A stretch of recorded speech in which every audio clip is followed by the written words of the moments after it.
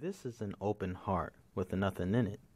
I honestly wish my heart was like this because I would start all over by filling it with things that are true and profitable.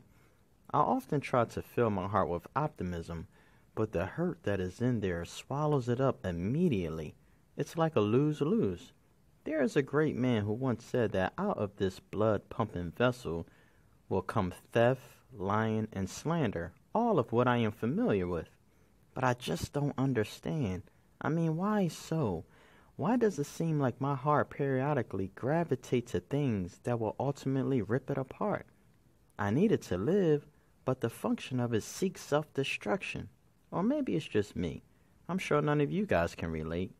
I'm just at a point in my life where I'm tired of hurting my family and those who are close to me.